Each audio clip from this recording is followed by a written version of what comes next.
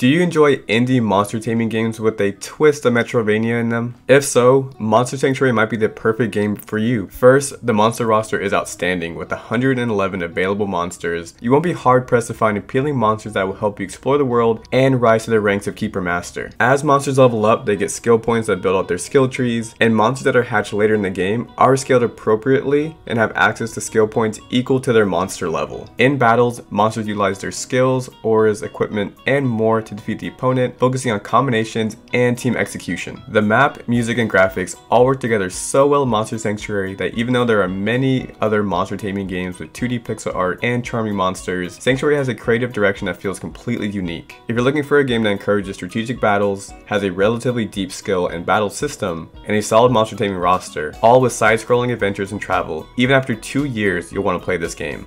And as always, make sure to like and subscribe to stay updated with all our future videos. Bye everyone!